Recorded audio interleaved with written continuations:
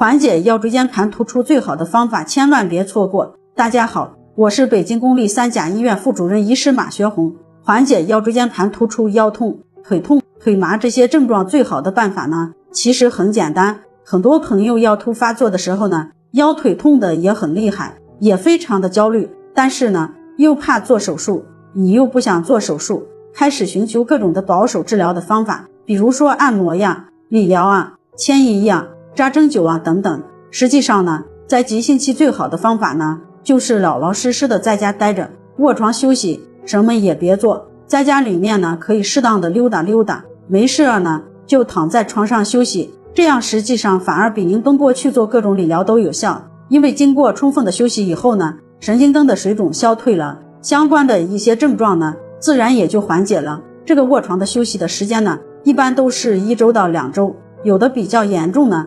可能还会更长一些。等症状缓解了之后，我们也不要掉以轻心，可以做一些适当的腰背肌的功能锻炼。大家可以看我以往发布的一些视频，希望呢能够帮助到大家。